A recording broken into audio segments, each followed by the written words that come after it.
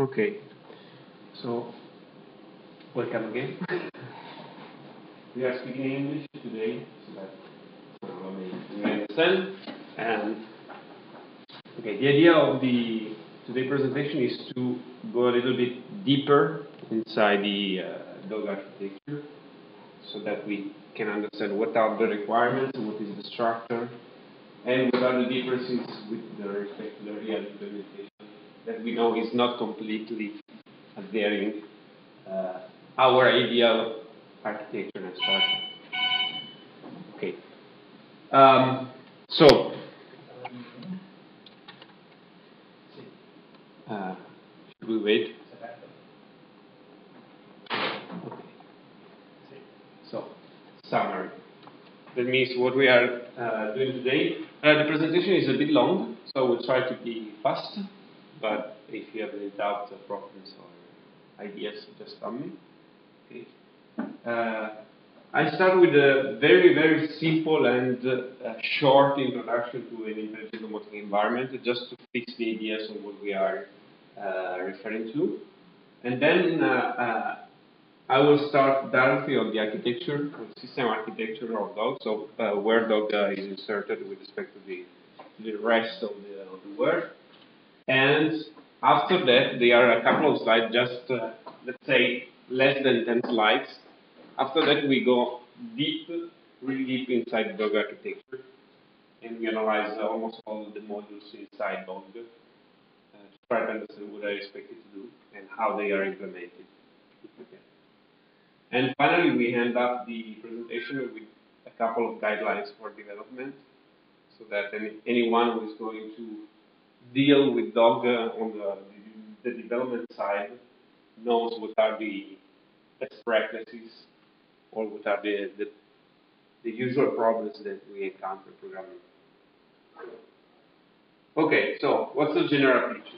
The, the general picture is uh, uh, basically uh, the point in which we uh, started the last presentation. So uh, we have a couple of different network technologies we need to be uh, interoperated and bridged and controlled as a single technology. And so we have these technologies, this plus sign means everything is integrated and uh, managed by a single KPU. So this is the starting point. Uh, why we need those? Because we want first to bridge the networks. Second, to add some additional functionalities like uh, intelligence, what means intelligence in home is not, uh, it has nothing to do with the, the, human intelligence, it is just a kind of uh, advanced scenario programming plus some reaction to the context inside the home. Okay? So no intelligence here, actually just programming. And uh, the other reason for which we have a gateway uh, between uh, let's say, the human and, uh, and the automation technologies is that uh, the gateway is expected to abstract the technology to enable all the applications to interface with different technologies that might be in home the same, in the same way, with the same commands, with the same uh, interaction with others. So this is the general system architecture where uh, basically we have a couple of things. We have our networks here. Uh, we assume that the network have uh, their own communication capability. They communicate over bus or over uh, Wi-Fi. We already know almost everything about technologies. Uh, but what we are assuming is that there is a gateway between the technology, the low-level technology, and an IP network. So our first assumption is that we don't know anything but IP. And this IP basically is delivered on Ethernet connection or Ethernet compatible connections like Wi-Fi. So the idea is that we have a PC, we have a, an Ethernet port on the PC or a Wi-Fi port. We connect this PC running Dog, and we can communicate with all the networks uh, in the environment. On the top of the figure, uh, of the picture, we have dog and the application and the user interfaces. So what we are doing is trying to uh, divide uh, get proxy into two main areas. One is uh, related to the low-level network, one is related to all the other level applications, all the level 7 applications.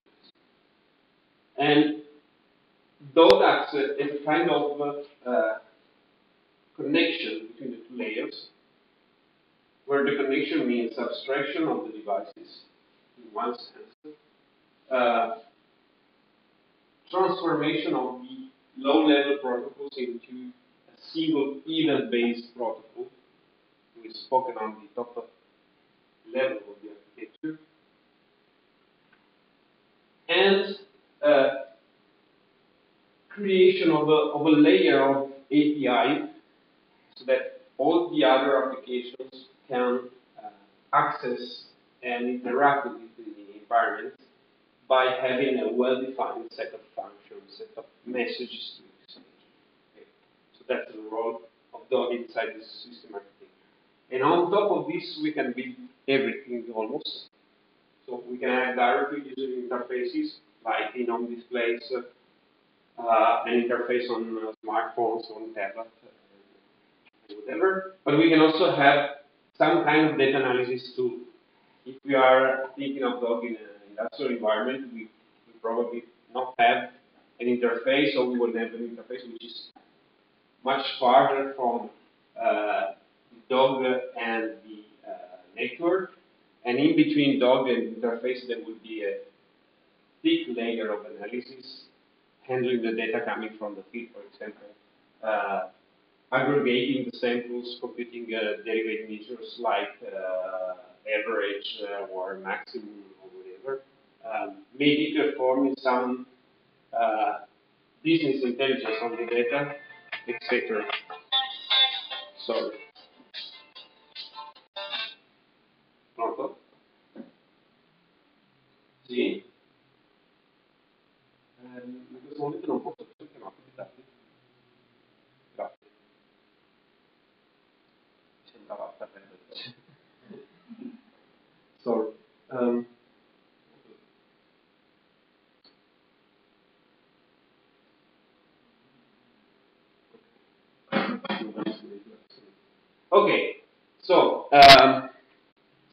Interruption. Um, these are almost all the blocks around dog.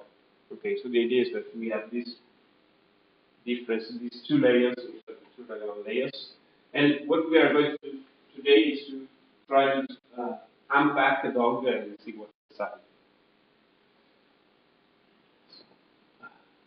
And this uh, this is our first mantra. We start. We have a couple of uh, guidelines, and uh, we call them mantra because uh, it's something that once that one must uh, repeat to himself every time he starts working, just to remember what are the assumptions and uh, what are we doing here. So our first and most important uh, mantra is uh, in ontology we trust forever in every aspect of Docker. That means when Dog performs it, its work, uh, interfacing on the low level networks and on the high level applications, it exposes all the low level features according to an ontology representation of them, which is called the long, and nothing else should be exposed. So if I'm exposing a lamp, a lamp is something that can be switched on and off. It has a state that can be either on or off, and nothing more. All the uh, network level stuff should be masked, should be uh, made invisible to the application layers. Okay, so that's why we say in ontology with trust, because that's the interface uh, and on the other side, since we must expose everything on the basis of the bond, we must also use this knowledge inside the structure so that we can actually translate the low-level representations into something based on the low Because if we don't have this knowledge at different degrees in different bundles, we cannot adhere to the DogOnt view of the environment. Okay? So this is a kind of first step we need. we always need to respect before starting with Dogon. That's why I put the, the in ontology we trust slide before everything, before even seeing inside of because this is the reference. Anything else uh, is just fresh, okay? because it, it just leaves uh, for a few solutions with no uh, possibility of being maintained for long term, at least in our view. So no special implementation, no special access point, just the representation. Okay, so uh, making this sure, uh, we can go inside the architecture. Uh, we will see that actually, uh, in some points, uh, this mantra is not respected, or it's respected in the architecture, but not in implementation. Okay. And these are problems. These are points in which we must intervene. So the idea is that after this presentation, we know what are, or at least we can imagine what are the critical points and also where we can start uh, studying and uh, modifying the architecture to respect the, this high level management. Okay. So starting very high level, Dog is basically composed of three layers. Okay. Uh, one layer is just functional layer. It's something that exists apart from Dog.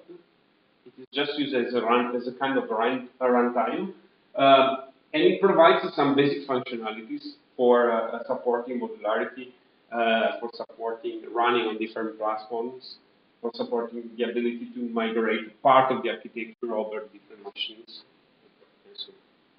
And this layer is the lowest one, which is called OSGI. It means uh, uh, Open Services Gateway Initiative. It's the name of the consortium, but the idea is that uh, actually it defines a set of guidelines for programming plus a baseline API that provides uh, the basic implementation of these guidelines. And what permits uh, OSGI is to uh, support uh, the concurrent running of different, let's say, applications I think the OSGI framework are called bundles, who have the ability to run one independently from the other, but at the same time they can one attach the other for consuming or for providing services. And this uh, loosely coupled architecture permits to, uh, from one side, to have uh, a kind of uh, plugin based working, like uh, we have drivers for the network. Every driver is a bundle. Every bundle might be in or not, but if it is in, it can use the services of all the other components of the architecture for providing its own services. So, for example, for providing access to a network technology or not. And in theory, nothing dog, I'm saying, okay, but in theory, these bundles can run at the same time on different machines. So I, I can have a part of dog running on one PC and, and the other part running on another. Because the OSGI framework also provides the infrastructure for communicating between two or more frameworks are running on different machines. So the idea is that also distributed operation is supported by, by this base layer. And that's why we are basing everything on, on the OSGI framework. Moreover, it defines some um, device access specification that basically regulates how the software should access the functionalities of the device. And this is really useful in our case because we are actually driving devices with those. So there is a standardized way for doing that. And if we have a specification, we, we can adhere to it. We are sure that everything is coherent inside Plug. On top of the SGI layer, uh, there is this driver layer the driver is a set of bundles. Each bundle, or better, each subset of bundle, and we'll see how, uh, is uh, responsible for maintaining the communication towards a specific domain. Okay? So we have a couple of bundles, usually at least two, uh, that are uh, responsible for a given network.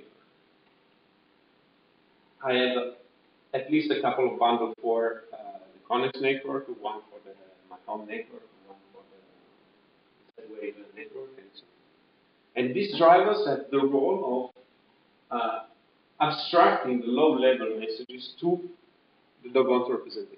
So if something is happening on the network, someone is switching on the lamp, we receive a kind of strange message, maybe something like SX1, SX sharp, in the case of VPC networks, and we need to convert this to LAMP1, which is the kind of protocol seen by all the upper levels. All the upper levels up on the drivers, they reason using uh, the Gauss representations. Everything is expressed in terms of the On top of these drivers, and this is on top on the architectural uh, layers, but it doesn't mean that uh, the driver can live without the higher levels. In particular, there is this core layer, which is the core of. All the bundles cannot live without the core at least still being dog. They can live on the SGI framework, but they, they will not be uh, dog anymore. Um, and the core layer has the uh, responsibility to coordinate all the actions inside dog and to provide the basic functionalities. That means common execution, for example, even delivery, rule based programming for the platform. These are the base services. Without this, the drivers cannot run. They can be installed in OSGI framework, but they cannot run because they don't have a good layer for them. Um, and no service can be provided to external applications because the bundles composing the core and exposing the services those as an API are missing. Okay? So this is the most important part of The architecture.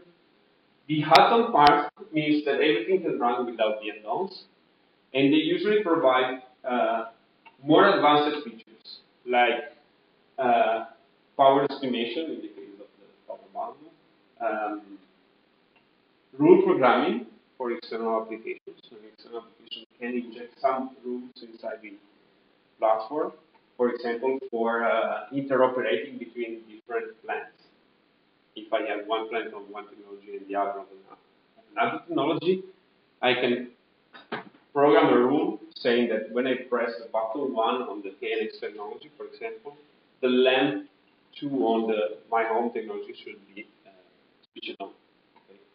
And this can be done by programming a rule engine running inside a set of the buttons. So the idea is that they are plugged there and they enhance in some way the functionalities of them, but without preventing him uh, to work if they are not present. Um, on top of these three layers, there is all the rest. That means everything that can interface dog. And this everything usually interacts with using uh, a web-based protocol. That might be XML uh, that stands for XML-based remote procedure uh, calling. Okay, so we basically call a function using a transport based on XML and HTTP. But this is like calling a function in a, in a usual programming language. Or on the other side, uh, we can support communication using a REST approach, or we are building uh, communication based on REST approach and exchange of JSON messages. The difference between the two is that by using XML RPC, at this moment we can have a, an event-driven interaction also on the application level. So we always keep open two channels, one for receiving commands from the application, one for sending back events. On the other side, on the REST interface, uh, we cannot work on an event-based interaction modality because the REST interface is designed just for behavior. So the application is responsible for polling dog every time to get up, updates about the current state of the house. So that's the main difference. Okay. Okay, and this is the general picture. Now, what we are trying to do is to go deeper in this three components: the core first, and then drivers and add-ons so as we can understand what are the linear modules of dog and what, how they are working. Okay, so core. Uh, this is the core. Don't be scared. There are a couple of modules. Uh, But the idea is that uh, all these modules collaborate together for providing the dog functionalities. We try, me and Luigi, to uh, divide the modules on different architectural layers uh, depending on what they do inside the core. So the core by itself is a kind of layered application also. Uh, and on the bottom layer, we have the libraries, then we will see what they, they are meant to. On top of the libraries, we have the base functionalities for, uh, for the layers. So these logger bundles are just used for enabling all the rest of the architecture to work. And so going, going higher until we reach the application interface. And you can see here that's an XML endpoint, which is providing XML RPC communication towards uh, the applications outside of Dog. And there's the corresponding REST endpoint, which is providing REST-based communication. So that's the from support, let's say, to application level functionalities. And this orthogonal module is there just for uh, reminding that this is needed for running everything outside of the uh, development environment. So this is a kind of starter environment which enables all the others to start in the right order. Okay, this is just a preview. Let's go deep inside each module. The rest endpoints uh, let me check if this is the first or I just clicked two times.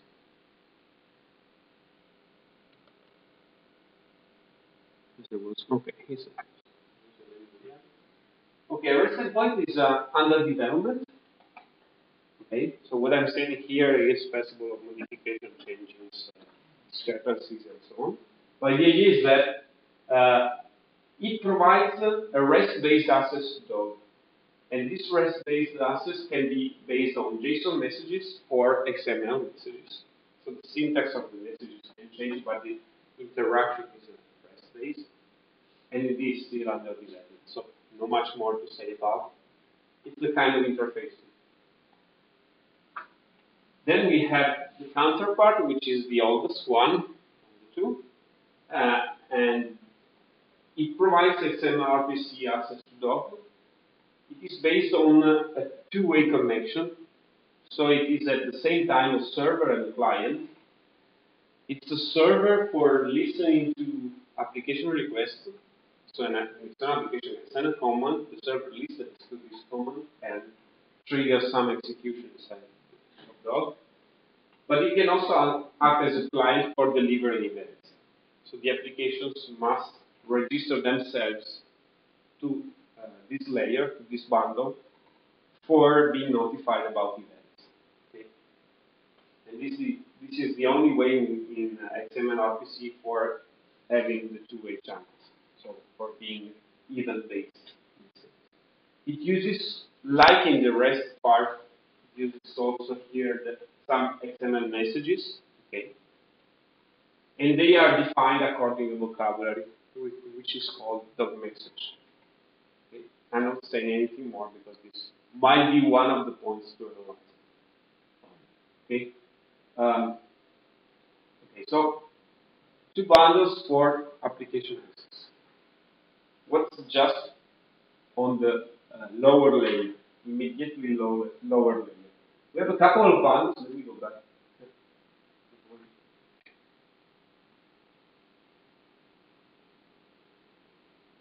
Okay a couple of bundles.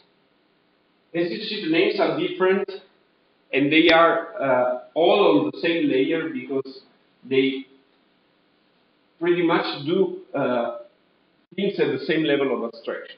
Okay? So they run on devices representation, which is this layer, and they provide some, in some way services toward the higher levels of application. But they do not have anything in common, or they have very few things. Okay, So don't expect uh, strict relations between them, although they collaborate together So the state monitor, as the name says, uh, provides a constant snapshot of the current state of the house. So everything that, that's happening on the network is uh, transformed and uh, captured from the low-level technology up to this bundle where it is stored. So in this bundle, I know that, for example, the projector is on, uh, the lamp in the kitchen is on, without needing to uh, query the low-level network, because this is a snapshot. And of course, by linear snapshot, it can be in, at some points in time uh, different from the real state of the house because there's a latency between the messages coming up from the house and storage and the provision to the upper level. Uh, it not only manages the, the, state of the house, but also provides registration from state change listeners. So applications that might be, in this case, both other bundles and external application to the XML RPC layer or to the REST layer.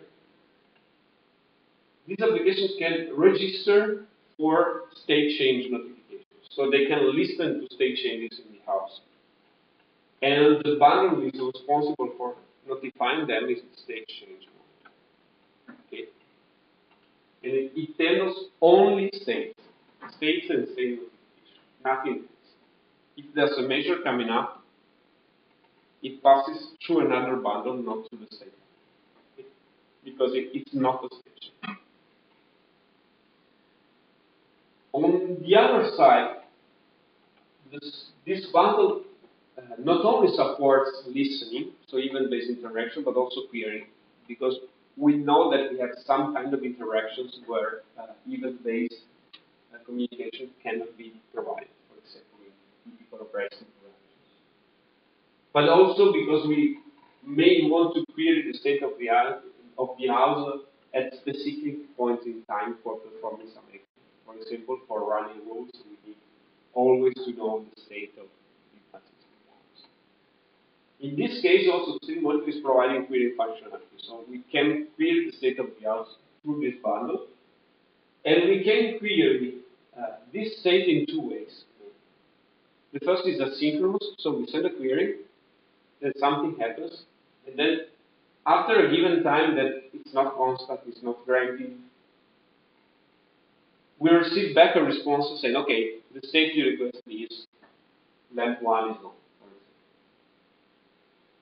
Instead, if we need a synchronous state of querying, because for example we are doing something that's time sensitive, so we need the state this time and not after three seconds, there's a synchronous interface.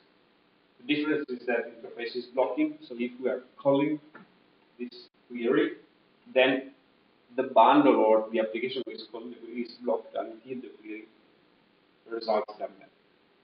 Okay, that's the way.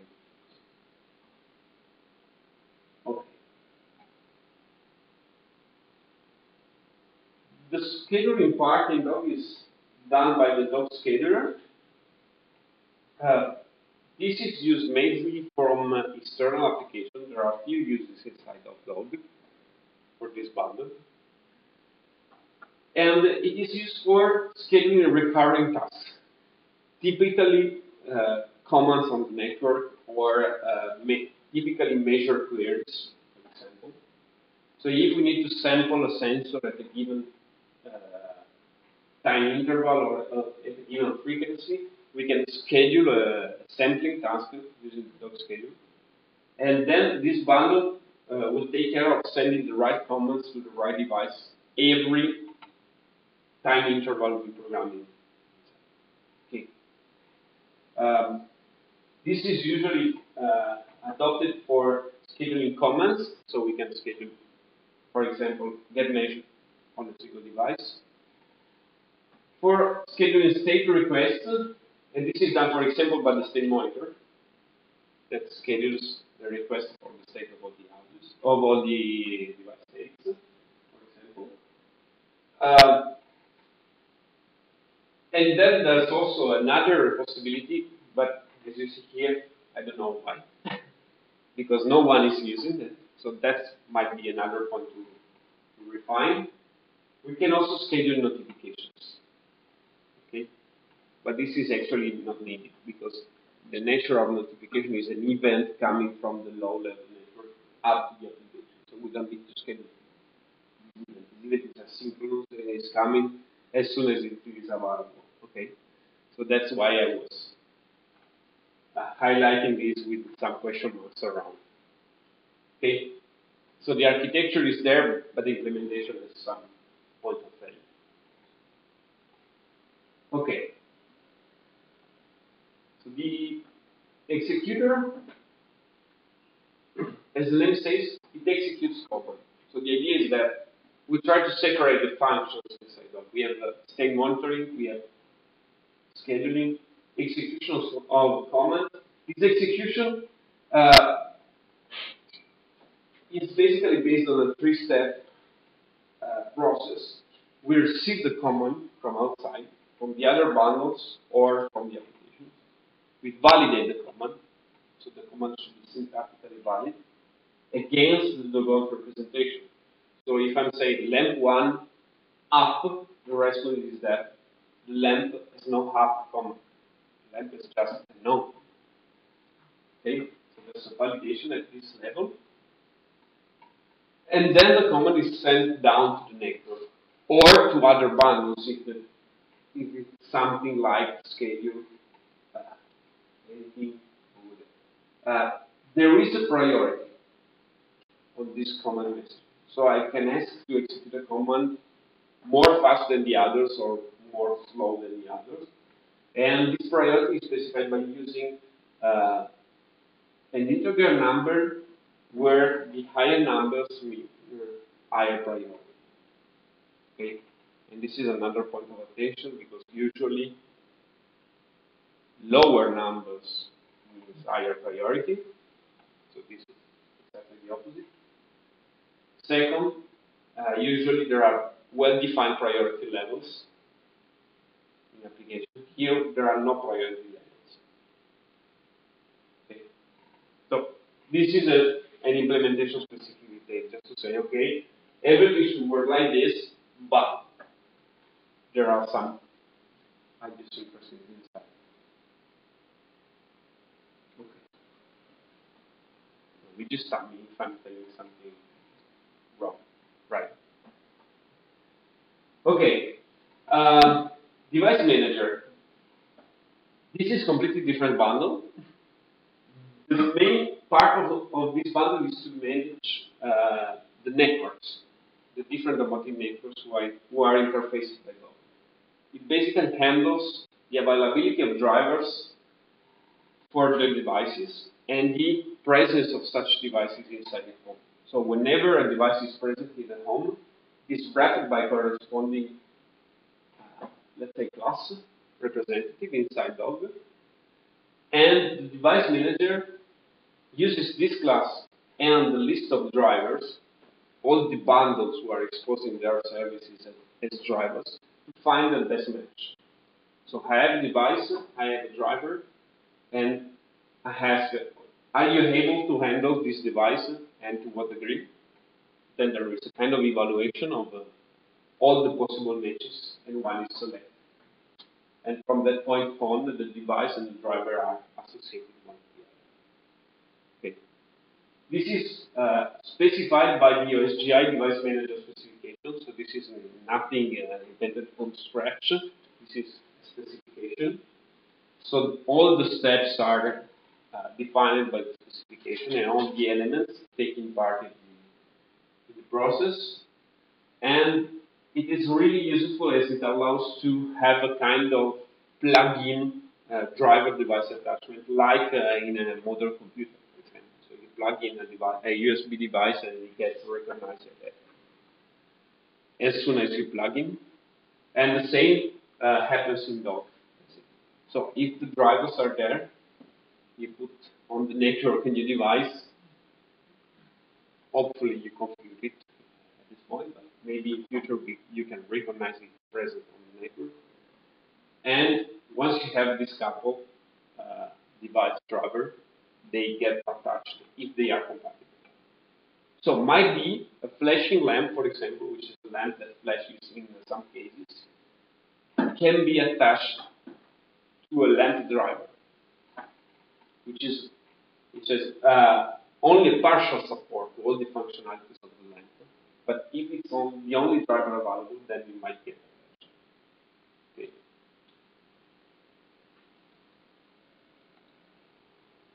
Okay. This last bundle is the let's say the counterpart of the executor bundle. In the executor bundle, we uh, deliver commands from top to down, uh, from the application to the network. The notification manager does exactly the opposite. So receives notifications from the network and provides them to all the listeners. So to all the bundles or the or uh, the application who are registering as event listeners. Uh, also, this notification manager is uh, uh, standardized by the OSGi specification. And uh, the specification is the Event Admin service, so there's a specific pattern of interaction for, for the delivery of events and the for the registration. So every bundle registration should respect a specific pattern. And it is based on the given publish and subscribe model. Uh, model. So the notification manager is publishing events under a given topic, for example, uh, all the LAMP events, and all the listeners register for a given channel of events. So, for example, I want to listen all events coming from lamps. In that case, uh, the notification manager would deliver to those listeners only uh, events about lamps and not about doors. So that's a topic usually in the registration that specify what are the kind of events uh, uh, want to listen. Um, there is also one functionality who is not finally behaving following the specification. Okay, so this is different from the standard, and it is used for filtering uh, so-called inner state changes from the outer state changes. That means uh, there are a set of messages, a set of state changes coming from the network that should not be exposed to the application. Might be because they need further elaboration before being exposed. Might be because we may want just to store them in the same snapshot and to avoid application listening on, on the, the applications. Because maybe they are uh, too frequent or maybe they are uh, of any significance for the applications. For example, there are kind of in operation states being delivered by the networks that we don't want external applications to be able to uh, to this in operation because maybe they, they don't need it. Okay, so that, that's this difference between inner states and outer states. And of course, by being different from the standard, this might be a failure point. It depends. Um, this is the other thing. Actually, this bundle should only be special notifications, but there's this state change notification also. Okay, so here is another kind of architecture violation. Might be. And uh, the second part is there because this bundle is filtering from inner states to outer states. That's why it is also handling state change notification. That means uh, we are not sure if this is an error or not, for example. Uh, it depends on the design choice uh, we take on, on Dog. And the idea is that uh, all the events inside Dog should refer to this specification. What actually happens is that is that not all the events are respecting this event uh, specification. So before deciding this is correct or not, we need to analyze the inner part of dog, of dog and to understand what is compliant to the specification what is not. Uh, we need to remember that dog that the dog uh, gateway has been developed by incremental steps. So as like all the incrementally developed uh, softwares is going to uh, encapsulate non-compliant piece of code. Uh, some kind of shortcuts uh, dictated, for example, by uh, time frames or time frames in development. I'm, I'm trying to describe the entire architecture as, as uh, it should be, plus the differences. At least the one that we know. Okay. Okay. So this gray layer was all about, in somewhat, handling uh, the functionalities, the core functionalities of, of without saying anything about the devices, without saying anything about how to um, interact with those devices. And this is partly uh, a task of the blue layer, which is a, a representation layer. The blue layer basically provides representations for devices for the home environment and for all the configurations that define how a specific home environment is uh, implemented in the real world. So what's the difference, for example, by this room and another? Okay, on the left side we have this device factory that is basically used for creating the device software counterpart when a device is plugged on the network. So when Dog starts and there is a device configured, then inside Dog the device factory creates an instance device that represents the physical device. Okay? And this instance is used for sending commands to the real device okay, through the device driver attachment. And it is also used for driving the attachment process. So it's a, a kind of representative of the real device itself, in all sense. And these devices are defined in the home model, which can either be provided by the semantic house model or by the simple house model, depending on the. Okay. And both of them are based on the DogOnt ontology. So the idea is that the environment is described using DogOnt, and then depending on the kind of installation, there might be a runtime usage of the ontology. In this case, we have semantic model, or just an offline use of this model. And in that case, we will have simple model. And this is usually more suited for uh, devices with uh, constraints on the computational power of the machine running on. So if, I, if they are running on an embedded PC, we don't have enough computational power to handle directly the ontology. So we run the simple model. Okay? If you are running on a PC, no problem, we can handle directly the ontology at runtime. Then, uh, by remaining on the left side, under the Dog device factory, we have uh, some contribution to the device representation. So we have this device class. So this device classes can be part of a set of categories, let's say. Uh, and all these categories are defined by the model. So we have a complete reference model that gets implemented inside them. Okay? And so we have this library of all the possible representation where there are instances, where there are classes for all the types of devices. In this case, they are represented as Java interfaces. All the different functionalities that devices have. So we will have an functionality instance, for example, for representing the ability to switch on or off something.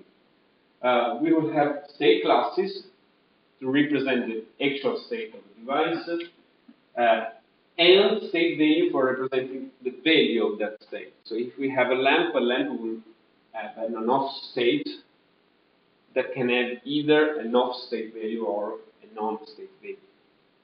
Okay. And all these classes are represented inside this DogOnt library. This DogOnt library is composed by around 400 classes. Okay. But they are not developed by hand. They are just programmatically generated starting from the ontology model. So that's why we can use all these uh, representation, very fine representation of the devices because we don't have to program them. Otherwise, we will need just one month for programming library, at least. Okay. Uh,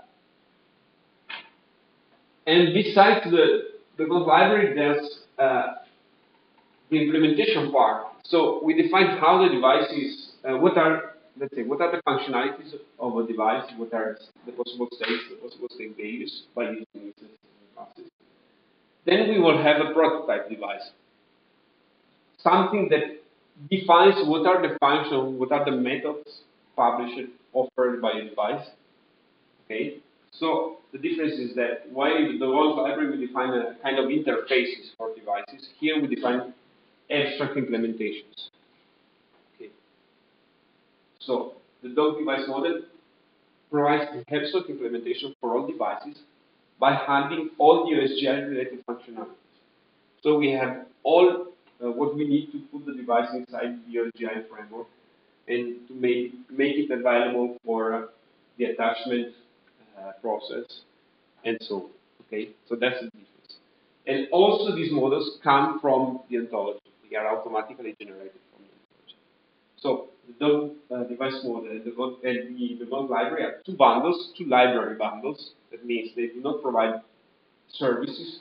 They just provide class implementations, basically. And they are automatically generated from the ontology. And that's why they were on the left, under the device factory. Because this block is all about devices. The abstraction of the device is in all the possible ways, according to the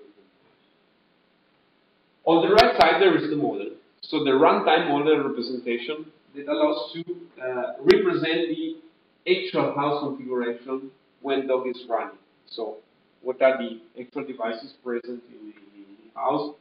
Uh, what they can do, uh, what are their configuration parameters. So, for example, uh, my land is actually connected to a Konnex plant. I need a group address to, to address the lamp to send comments.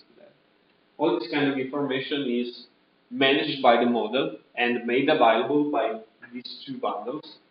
And as you see, the simple house model is uh, drawn like uh, a sub-part of the semantic model and this is done purposely because what we want to highlight here is that this simple model is just uh, the offline representation of the semantic model. So if we don't have enough computational capabilities for running the semantic model, we generate an offline representation of the model, who is managed by this simpler. Okay. Um,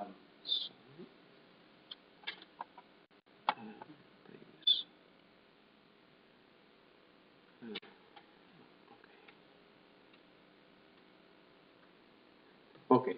So, um, the semantic model is one of the most complex bundles uh, Luigi, correct me if it's different. Uh, it does everything that has to do with the model. That means uh, providing home configuration. If the configuration is expressed uh, as a set of local instances, which is the usual way of representing And providing the auto configuration means supporting all the configuration requests, including the first one, which is issued when dot starts and want to know everything about the environment which is connected. But it supports more advanced functionality, like for example model merging. If I have another model that provides additional description to the home for example, there is a power model that describes all the power consumption of all devices in the home. Okay. This model, which is a kind of add-on for the base model, can be merged with the base model inside semantic model. So there are primitives for asking this bundle to merge two different models and to offer all its functionalities on the aggregate model. So after merging, I can query the aggregate model. And of course, since there's a merge, there's also an unmerge. So if the add-on banner, for example, requests to remove the model because it's going to shut down, then this bundle removes the model from the model uh, merge and provides all the functionalities that it provided before the merge. Okay. That means uh, it, it does basically ontology merging in the simplest way possible. That means only handling different clear. Uh, the other functionality that, that the semantic model provides is uh, to support classification and reasoning on ontology. Classification means that if I have a lamp, or if I have a flash, let's say, and the flash is a kind of lamp, then I might know that the flashing lamp is a lamp and it can be driven like a lamp. So by sending on and off. This is done by classifying the instance. So by finding all the possible classes for a given instance.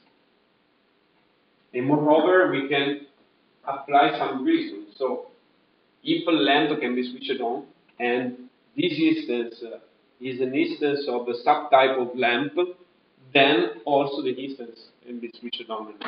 Okay? So logic reasoning in the model.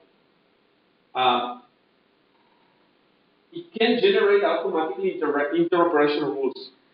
Why? Uh, in the model, we represent the house. So we have all the descriptions of the devices, and we know that uh, the bottom one is on, on a Konnex network and for example, the lamp one is on a, I don't know, Modbus network.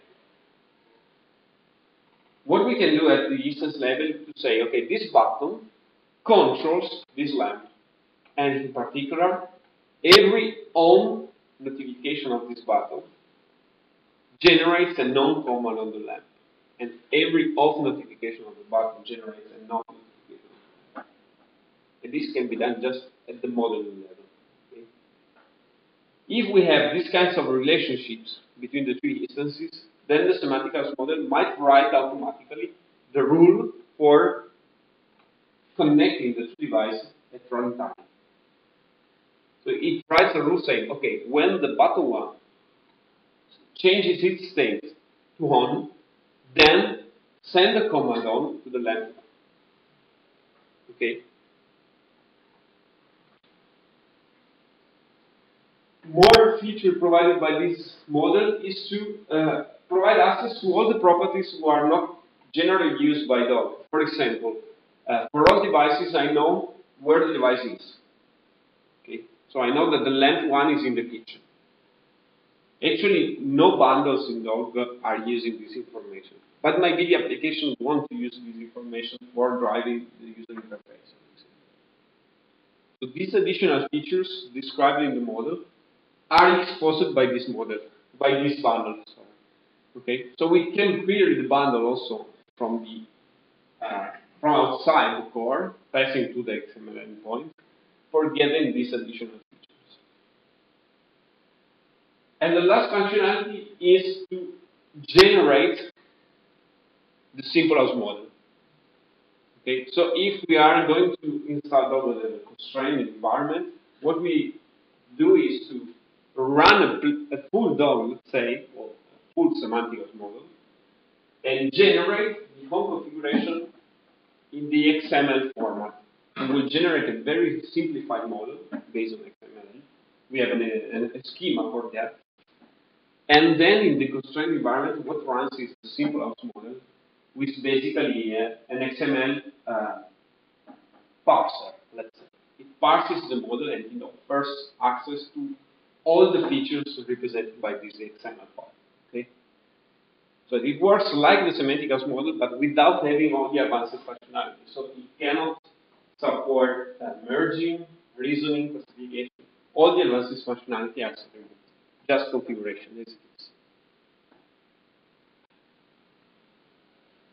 Okay, and that's the simple What happens if they are both uh, available in the same dog configuration. Because usually when we distribute dog, we create a set of bundles, we put them in the right folders, and then we distribute dog. And what happens usually is that we have both the models inside the same distribution. If both are present, that means that the machine on which dog will be running is powerful enough. So if both are present, the simple house model automatically shuts down. When it notices that the semantic house model is starting to run, then it shuts down. Okay? So if we want to run a, a, constrained dog, what we have to do is to remove the semantic as model which is in turn just the jar file in the proper. Okay.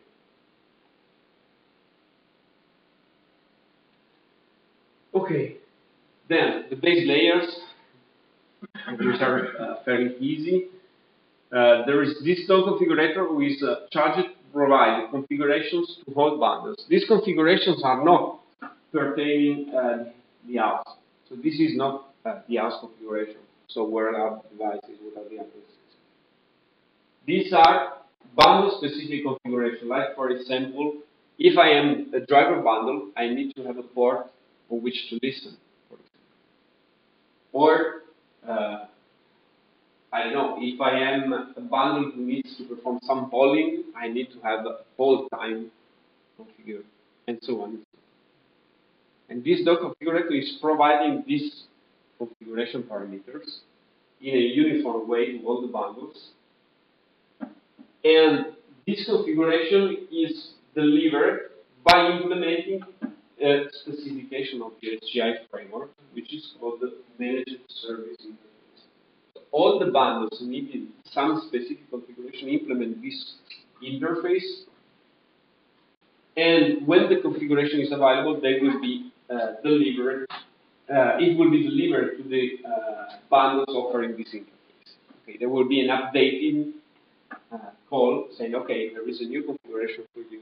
Read it, start, and whatever you need. so this is for any bundle specific. And of course, for example, this is used by the semantic house model to load the ontology, to load the instance, because they have specific configuration for the semantic turn is providing the configuration for all the house to all the other bundles. Okay. okay. Logger, as the name says, provides all the logging facilities to Docker. Not only the core bundles, but all the bundles in Docker can use this logger for uh, logging messages. These messages can be debug messages, information messages, warning errors, and that can be stored either on a file with a rolling appender, typically. So we will have a, a file that, after uh, growing to a given dimension, will be rewritten uh, or it can directly log on a, on a console if, if we are running dog for test, for example. And we want to see the errors or to see the messages directly on the console. And we can uh, tune the uh, login level provided by this logger bundle. And we can assign different appenders. That means we can uh, store the logs on different supports depending on the logging level and on the classes. So if we want to look at the semantic house model logs and store all the others on the file, we can write a, a proper configuration for the logger to do this task. Okay?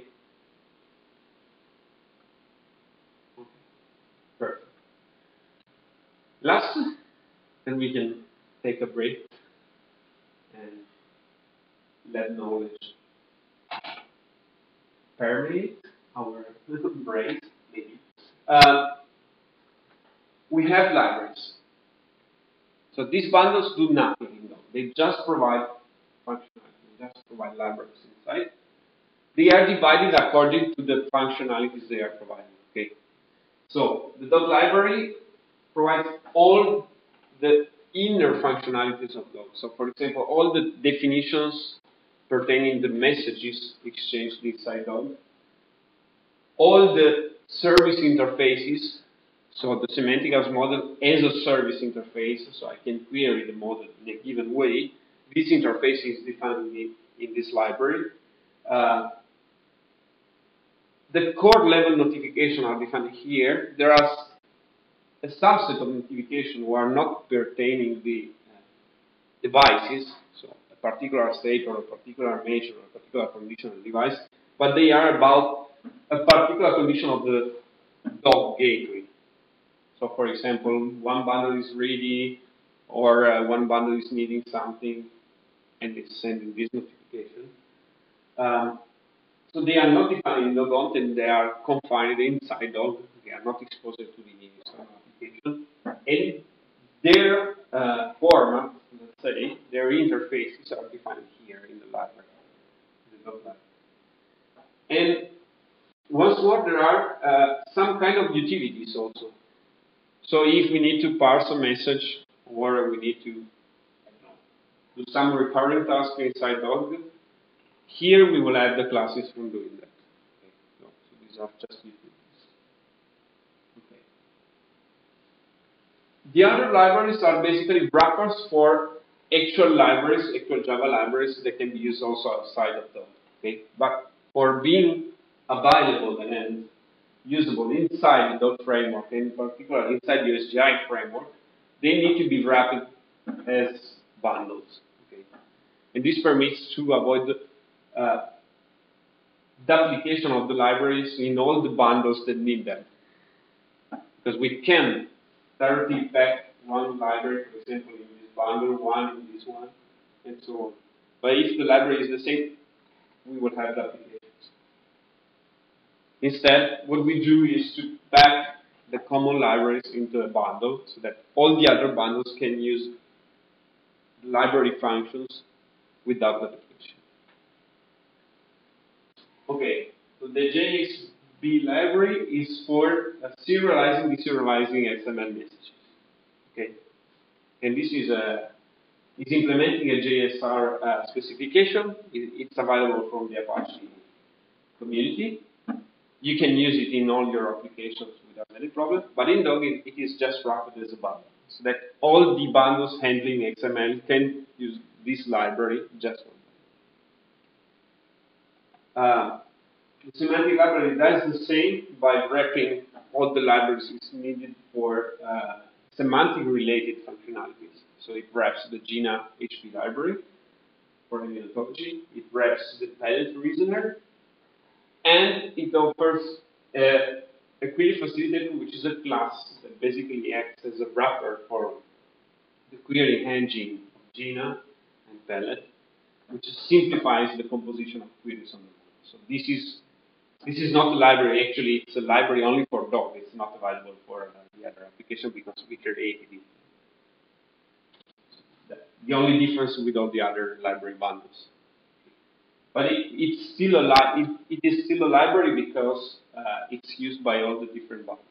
Okay. So it's kind of an extension to the standard Jena and The measure library does the same for measures. So there's a, a library for handling measures that means uh, integer or floating point values with the unit of measure associated for measuring physical quantities.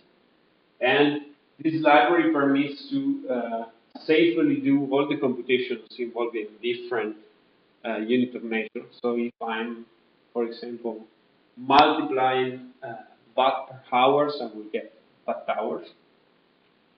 If I'm multiplying the volt by amperes, I will get watt and so on. So this is for handling real-world measures. And this library is also available outside of Dog. it, it is called JScience. It implements the JSR specification. And what we do here additionally is to define inside this library all the unit of measures which are not standard. So they are not defined in the international system unit of, uh, of unit of measures, but it is typically used in the residential building automation environment. So, for example, the kilowatt hour unit of measure only exists in the building and uh, home automation domain.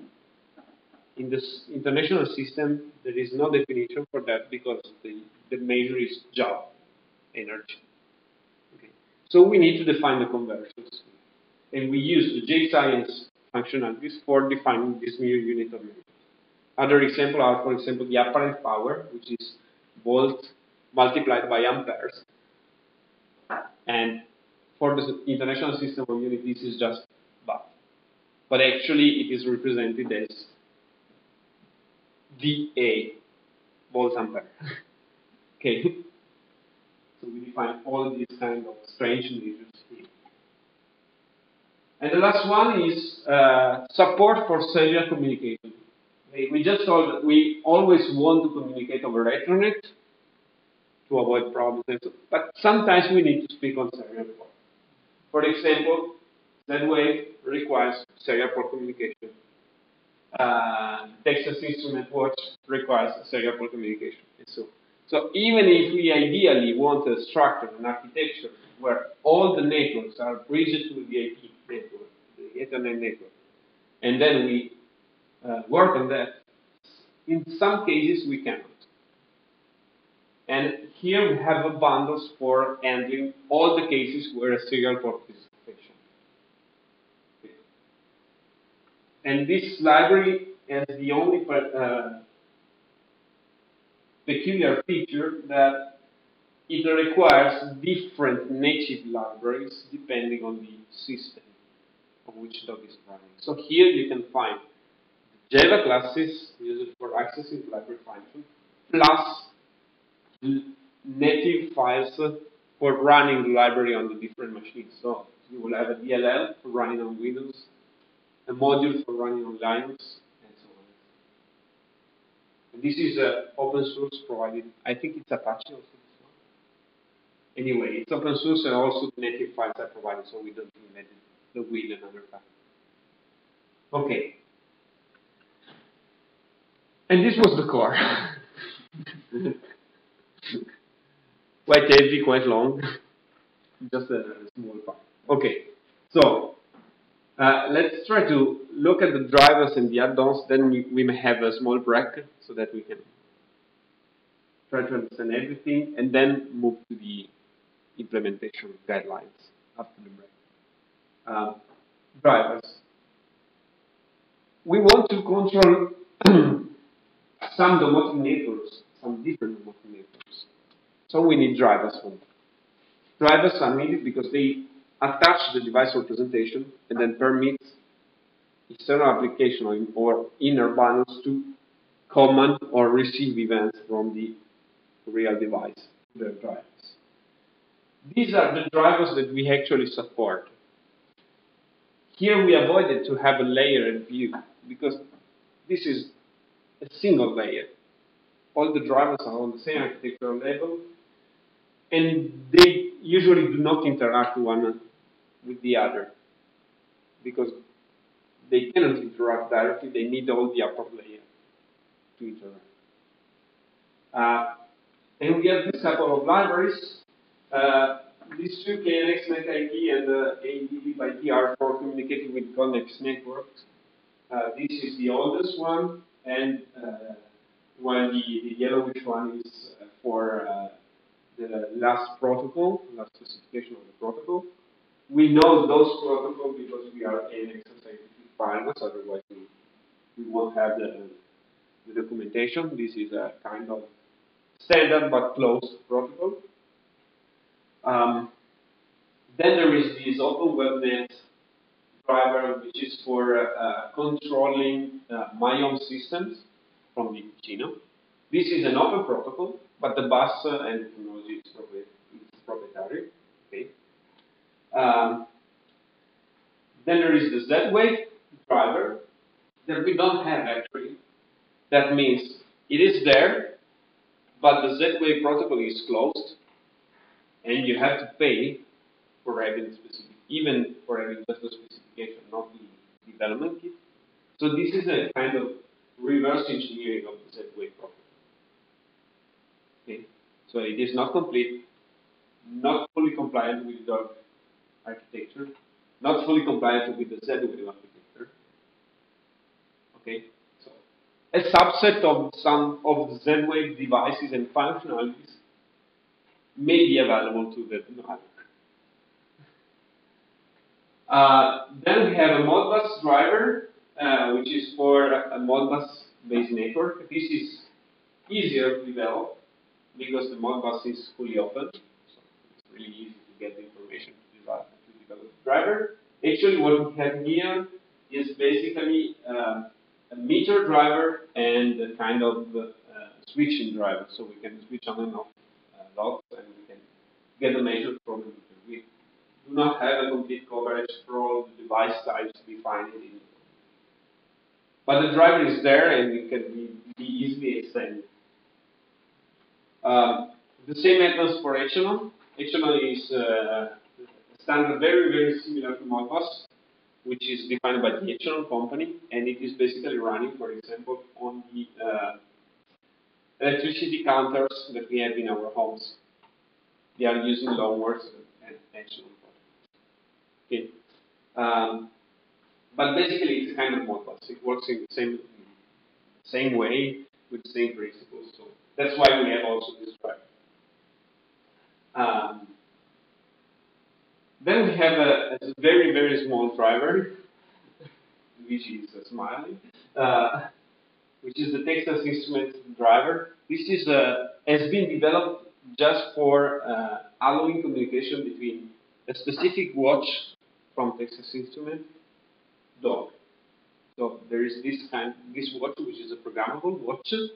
We have two experts there of, of this watch, and it has the ability to communicate over Wi-Fi connect, over let's say RF connection uh, to and a, a, USB key, which can in turn be connected to dog through the serial API. So we have this serial bundle that permits us to interface the key and communicate with the watch. And this is a kind of different device. It's not a domotic or a video device, but it can be used as an interface for sending or receiving. And that's why we have the driver. And finally, the light drivers are basically uh, emulated drivers. So everything that uh, that's defined in the bond can be emulated by the light driver. And this is used to, for example, simulate not existing uh, uh, environments or to first set up the configuration before going on the field. We can simulate everything, then if all the, let's say, advanced parts work, are working, then we can uh, assign to the device configuration a specific network, and then they will be uh, managed by the corresponding driver. So the idea is that we start by simulating, and then we specify better the single devices, transforming them from just live devices to, for example, Modbus devices. Okay? Instead of analyzing in detail every driver, which will be long, boring, and useless probably, uh, what we try to put here is uh, what's the structure of the driver what are the, the mandatory parts and what are the optional ones. Sorry. Um, a driver is usually organized in three different parts, of which one is mandatory, which is the network driver. Then there is an optional part, that means it might exist or not. It usually should exist, but as the uh, real dog implementation demonstrates it can be also not existing. Okay. Uh, and then there are device drivers. What are these different elements? The network driver is the one which handles the network communication. It has the ability to speak the network directly on the network. So to open a connection to the, I don't know, what Modbus gateway, to handle all the connection issues, to understand the protocol, to send commands, to receive notification, and so on. Okay. If the polling is needed, the Modbus example, for example, uh, the Modbus network, for example, is uh, it's a network that requires polling. There's no event notion inside the Modbus. Also, the polling is ended by this driver. So the network driver communicates with the network and provides an event-based interface to all the other bundles.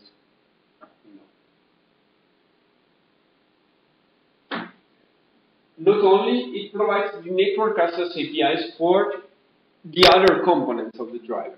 So basically, this is the network interface. On top of the network interface, we need the driver for managing the device behavior. So there will be bundles offering, for example, the on functionality for a lamp. So there will be a lamp driver. We will be receiving a kind of lamp on command and transforming it to a call on the API offered by the network driver for sending, for example, the message Okay. So the network driver communicates and defines the API. Then there is this gateway driver. The gateway driver is there for supporting multi-gateway operation. In the general installation of we will have many trunks of the same network technology who can be interfaced by using different gateways over IP. So I will have, for example, of this area under a single IP uh, gateway, and then there will be, for example, a, a different area for the, the boiler building or for the central uh, Uh, building who are running also the same network, but they are accessible to a different gateway because they we, we divided the network in different pieces. In that case, we need this driver to decide, given a command, to which network part should be issued the command. So the network driver is the same because it is only to handle the command sending. But uh, what changes is the address where these devices are sent. And the gateway driver does exactly this. So manages the association between devices and gateways. So that if I'm saying lamp 1 on, lamp 1 is actually associated with the first gateway. So my converted command is issued to the gateway, to the first gateway IP address and not to the second. And this association is managed by the gateway. Of course, if I have a gateway driver, all the other device drivers inside the single network uh, driver um, cannot run if until the gateway driver is available. Because otherwise, there's no way for understanding to which physical gateway the message should be sent. So in order, we have the network driver part, which is the one communicating on the network that should run. After that, we will have the gateway driver and then the devices. Okay.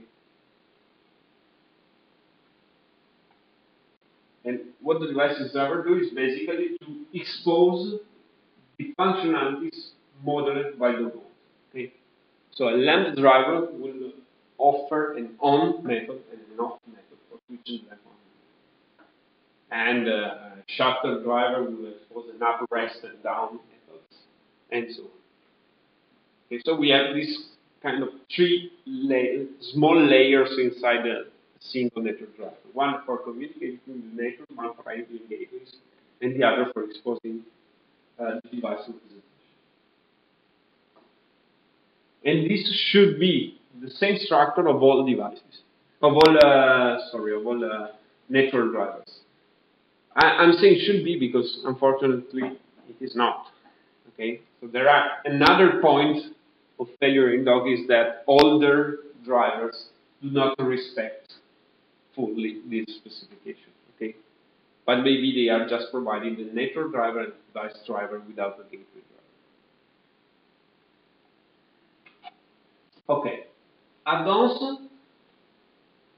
Uh, also, these bundles do not have a specific layered architecture because they, they live almost at the, at the same level, uh, just besides the core and they do different things. These are, uh, let's say, this is a kind of uh, general group uh, for all the bundles that add functionalities to Dog, but for which we do not have a specific layer position. Okay? And that's why they are called add-ons. And as you see, they, they are in fact quite diverse one from the other. There is the rules bundle, which provides uh, a rule engine support for dogs. So we have this rule engine that can be programmed either from the uh, external application or from inner uh, log bundles. For example, the semantic model can generate rules. Um, this rule bundle uses the JBoss rules engine inside. Um, and can be programmed using XML-based rule definitions. This XML-based rule definition can come from external application. We are a thesis on this, uh, defining an interface for specifying rules, and it can use, it typically uses, let's say, notifications, so events coming from the network, as triggers for the rules, the current state of the house as a constraint, and then it will generate comments as a result of the rule execution. Okay, so the typical form is I don't know, when the door is open, this is notification because the door sends an open notification when someone is opening the door. Uh, if the lights are off and the shutter are down, current state, then switch on the light, for example. Or raise up the shutters. Um, there are specific triggers which are not notification, but uh, they are defined time-driven triggers, which are basically timed rules. So at 5 o'clock, if the shutters are up, lower the shutter, for example. Because the office, the office is closing, no one is in the room, and the shutter might be closed.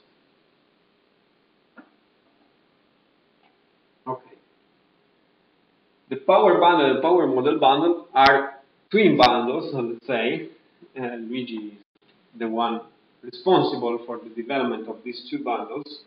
Um, and they provide the, the, power view of the uh, home representation. So all devices inside the home can have a power characterization provided by those two bundles together. In particular, the power model bundle provides the model of this power consumption. So every device has a typical consumption. It has a nominal consumption or a real consumption. Okay. What changes that uh, the typical consumption is the consumption you can find on tables. So you will have tables uh, available on the internet or on manuals saying, okay, a lamp usually consumes, I don't know, 75 watts. Then you will have the nominal consumption, which is the consumption written on the single device. So this lamp is a 75 watt lamp. And then you can also have the actual consumption. You take the lamp, and you put it in an energy meter, and you discover that the lamp, has a, a 75 watt nominal power, actually consumes 64.45 watts, which is the actual power consumption. And of course, the actual is more precise, but maybe it's influenced by the context. Because if you put the same lamp and you leave it here, connected to the meter for two hours, then the consumption changes because the lamp gets heated by uh, lighting. Okay? So it changes.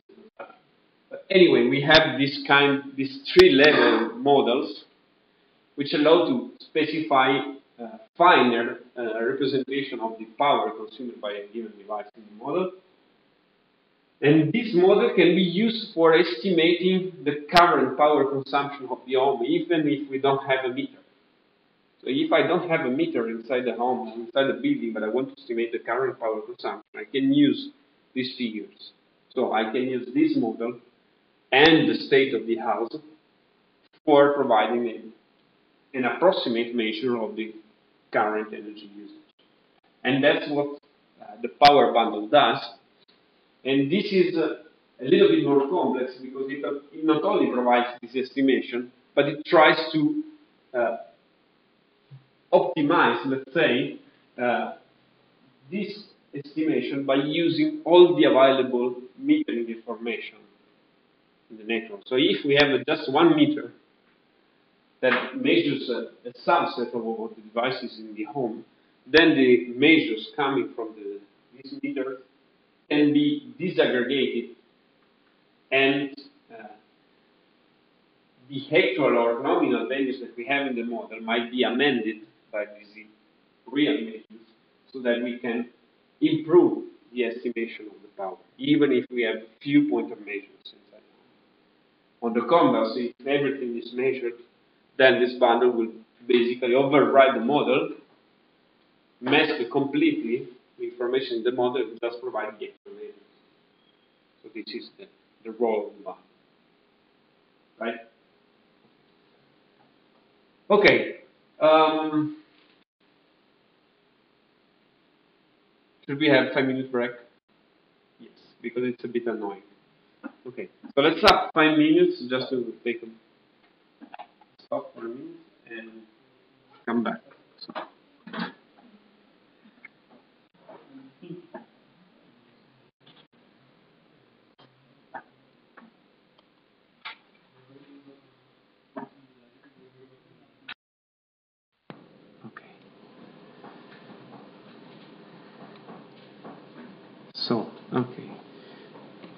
From now on, uh, we switch from the architectural view to uh, first uh, to the runtime view. So how Dog operates actually in real time. So what are the, the steps involved in the, the running, and then uh, on the development part. So how to develop for Dog. Uh, so when we run Dog, we have a startup phase where everything starts running. Uh, it changes a little bit from uh, the development uh, configuration to the real-time uh, real-world configuration. Um, basically because when those runs in the development environment, uh, some part of the uh, startup tasks are directly done by the integrated development environment, which for us, for the moment, is Eclipse in the Helios version. Uh, we are lighting the version because the, the newer one are not working. So, or better, Dog is not working for the newer one because there are problems. Uh, but we hope to have it working maybe in the future. Without the hope, it must be working. anyway. um, the idea is that uh, in general, uh, the bundles start automatically uh, apart few core bundles uh, need a specific order. All the others start automatically with the almost no order. They just start as soon as they can. Okay. So there is this framework bundle, which is the only one that should be run first because it provides all the functionalities and it corresponds to the OSGi level we saw in the slide. Um, after this bundle has started, all the others are starting in a given order that it might change on a, on a run with respect to, the, to another run. Okay? So how can they coordinate? That's the question. Uh, this is provided by the OSGi model. Basically, all the bundles are consuming and exposing services, and usually they can start working if the required services are available. So it doesn't matter the order because if a bundle who is uh, requiring a given service starts before the service, then it will wait for the service to become available before starting like really. Okay. So that's no order. Um, except for some bundles. For example, the auto start bundle is one of the first bundles to be started because it, it is needed for starting the other bundles, part of the other bundles. Um, so all the bundles start. When we run dog, we, we see many, many logs in the console or on the file, and it's really difficult to understand which bundle is starting because actually they are all starting. What helps the bundle to be structured, to interact, is that every bundle waits its needed services. So it starts, and before offering services, it waits for all the other services that needs. So the first bundle actually that start are those that do not need services. And they will be the library bundles in general. Okay, because they do not need services, they just expose services. And so on. And all the dependencies are uh, resolved at runtime. because all the bundles are waiting for the others needed bundle. And this is very flexible because we can put new bundles or remove bundles even at runtime and everything works. One of the new functionalities in Dog is that we can actually put, for example, a driver, when Dog is running, we put the, the new driver inside the driver folder, and it gets started, and once it's started, it waits for all the needed services, which are already running because Dog is running, and if we had a device previously unmeshed, so idle because there wasn't a driver, now that the new driver is there, a new attachment process will be run, and there might be a possibility for the device to be used. Okay, so that's the one of the advantages of this OSGi structure is exactly this that we don't have a a predefined order, and we don't have to have everything there before running. Okay, and the life cycle is exactly this. Almost exactly this. So first step is all the bundles move from the uh, no state to the installed state, where basically the framework has recognized the presence of the bundles. But they are still doing nothing after installation, uh, they start to live and they become, if all the offline dependencies, so if all the libraries, not the runtime, not the services, but the, the physical libraries they need are available, they become resolved. So everything for running the bundle is ready. At that point, all the bundles that do not, do not have any online dependencies that do not depend on any service in the framework start.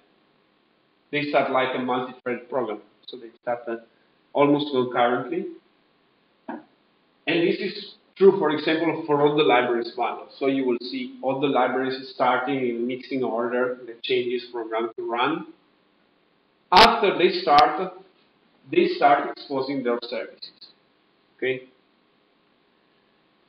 one of the services, for example, uh, which are exposed first is the managed service uh, defined by the OSGi specification, which is provided by the Dog configurator. So the Dog configurator uses anything else, usually starts very quickly with respect to the other, and then it offers the managed service to all the other bundles. So all the bundles who are waiting for configuration not run until the configurator is ready, because until that point, the service will not be available. Once the configuration becomes available, they start running. So they start asking the configuration and maybe publishing new services.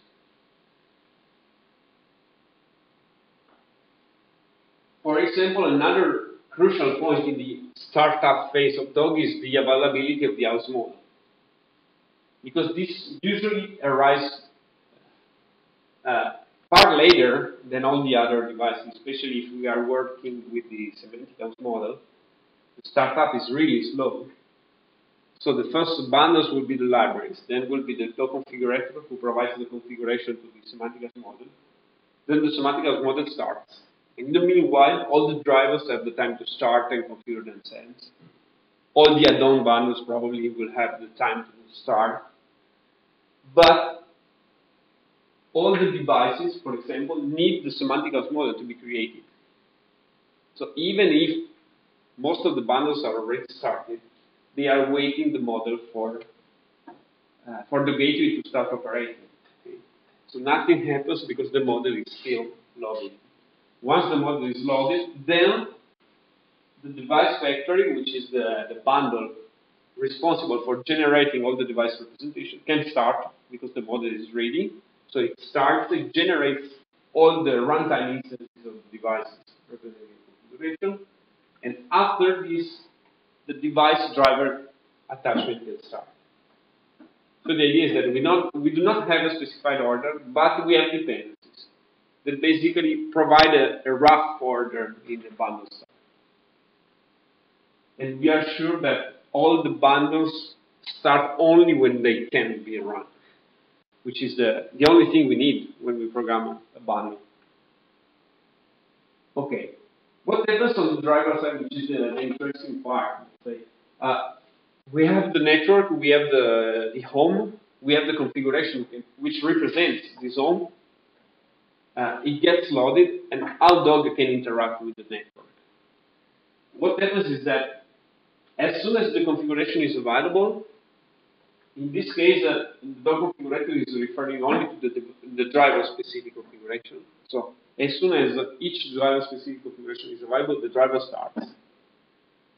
Then they wait for the model for being available. In the meanwhile, there are a couple of other bundles who are the gateway drivers, if you remember, that are waiting for the network drivers to be started.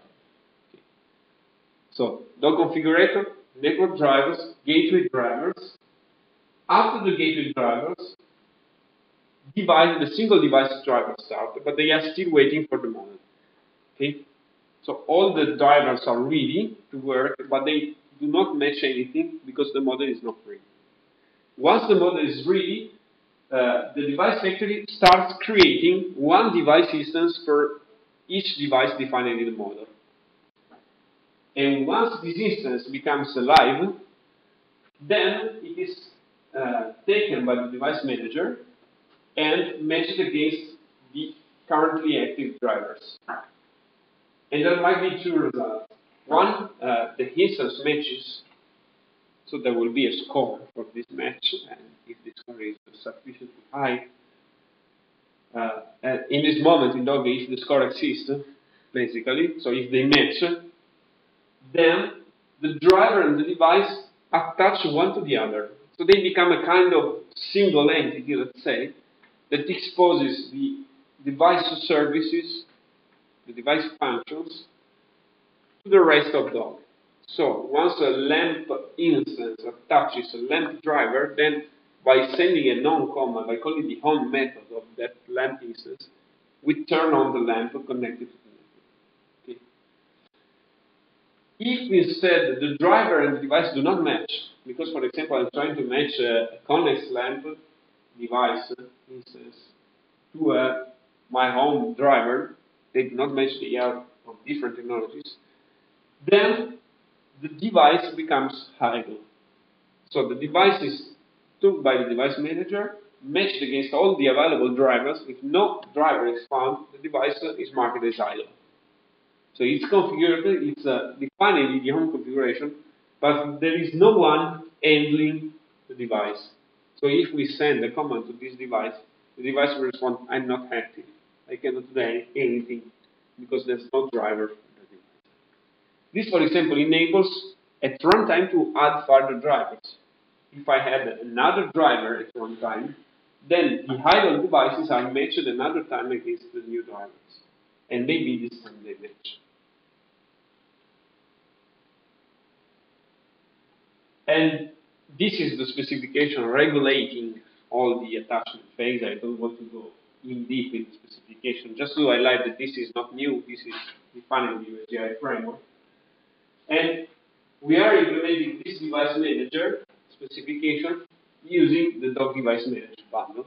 So the dog device manager bundle is the device manager in the framework.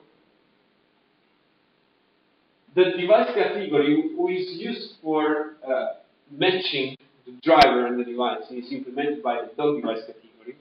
And we start understanding one, why there are some names inside the bundles, okay, because we are implementing specification. And on the other side, we have the device driver, which basically implements the driver and the driver implementation that are defined inside the specification. So we are following this specification. And this specification also specifies uh, the interactions between the elements during the attachment process. So they should interact in a well-defined way. Okay? okay, finally, the device model Actually, maybe we don't understand why the model was separated from the, the rest of the device presentation. That's why. Because according to the OSGi specification, it's a different part. It's the device implementation.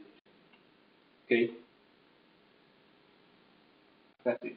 This, this was just to say we are implementing the specifications. So sometimes uh, some choices might appear strange, but it's because they are trying to implement the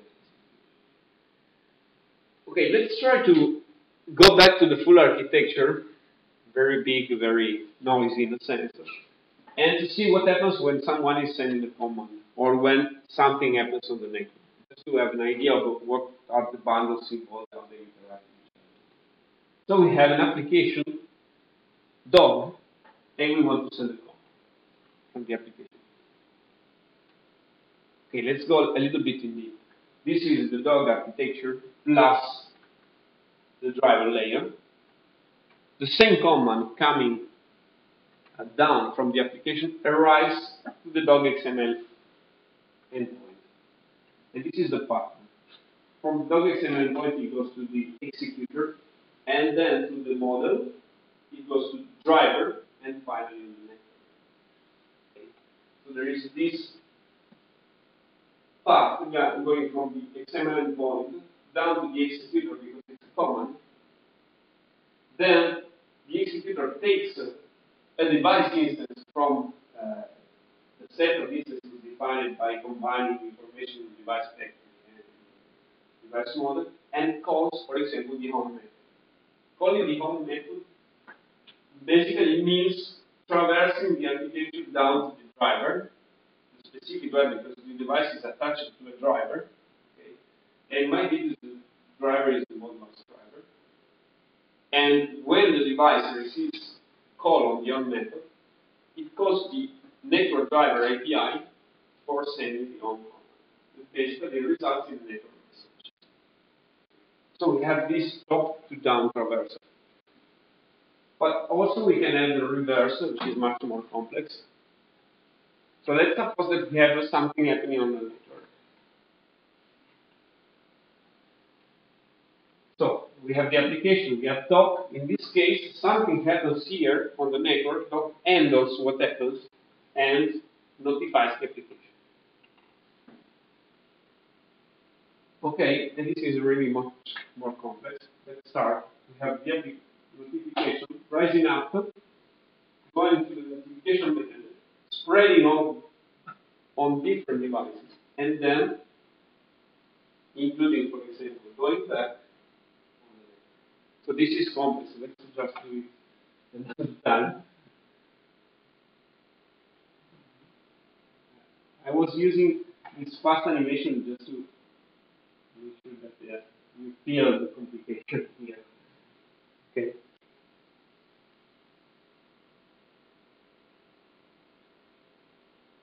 So what's happening here? Let's try to do it uh, slowly. We have something coming from Maple, let's say on the HTML driver. When it arrives here, the driver converts the network message into a dot message. This message is sent as a notification to the notification manager. Okay? So it rises up here filtered by this model, so it arrives like a lamp one switched on. Once the notification manager receives the message from the driver, it generates the notification, so it publishes the event basically, and all the registered listeners receive the event. In this case, for example, there might be this XML endpoint receiving the message because it, it must expose the event application. The same methods for the REST endpoint. The same methods, for example, for the power bundle, because the power bundle is listening for estimating the change in the current consumption of the home. And also the rules bundle is listening for changes because maybe there's a change that triggers one rule that requires a command to be executed. So everything is dispatched towards the listener and then every listener does something different depending on its own purpose. So, for example, the XML endpoint is sending out the command. The REST endpoint maybe is doing nothing, just accumulating the notification for being queried by the application. The power bundle, for example, estimates, updates the estimate of the current consumption, the home, and maybe the rule gets a trigger, and the trigger is inside one of the rules handled by rules panel. and this in turn generates a command. So in this case, the rule, for example, sends a command to the executor as a consequence of the application, and this command travels down under time towards the drivers masked by the model, so the would be, for example, which lamp2 on, and maybe the lamp2 is on a different network, for example, okay, it comes here, now. Okay. So the idea is that when there are notifications from the network, might be there are several paths at the same time. Some of them are going outside, some of them may be returning. And this path that we saw uh, running from driver to the rules panel and back to another driver, this is interoperation. Basically, we can bridge different technologies by using this mechanism.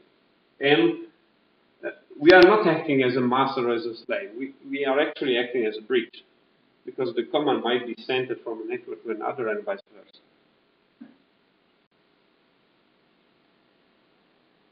Okay, and this was the word.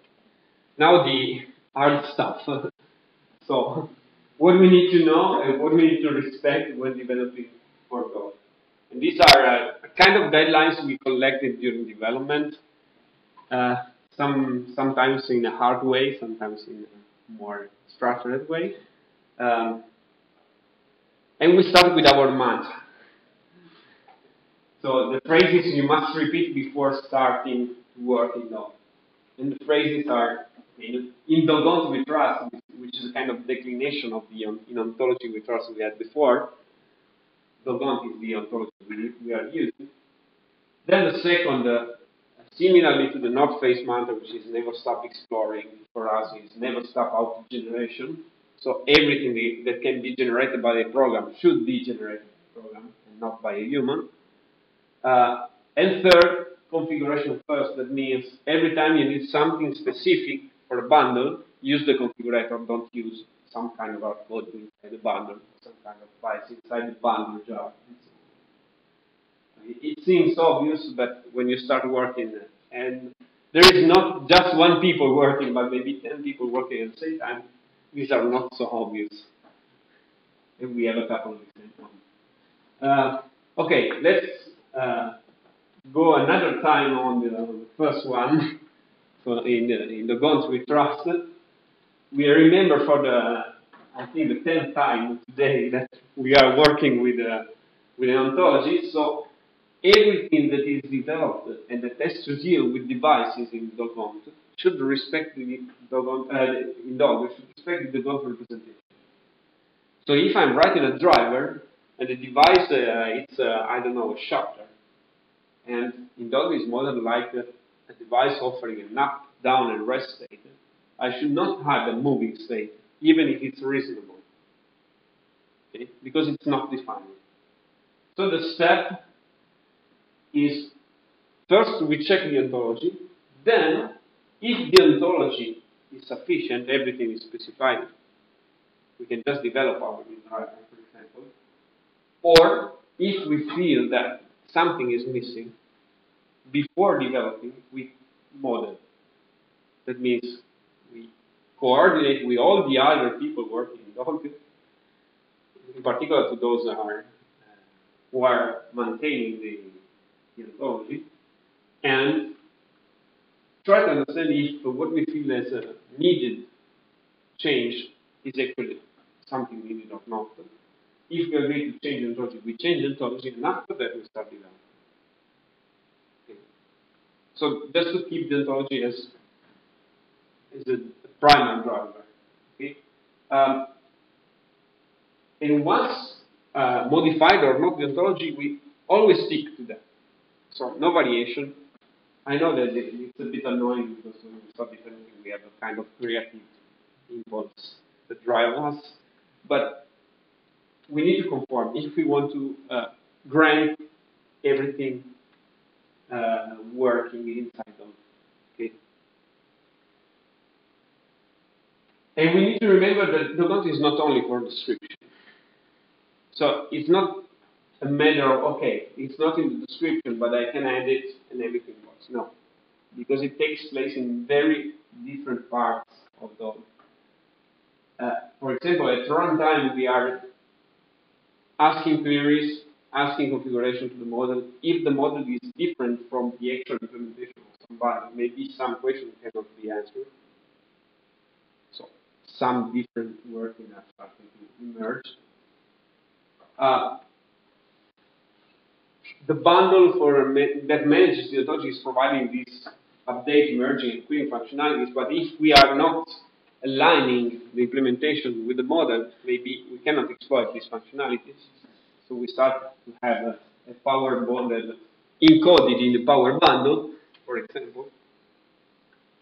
And next time we won't be able to, to get the power information, for example, from one application. Um, and not only, the ontology is also driving the set of device classes inside.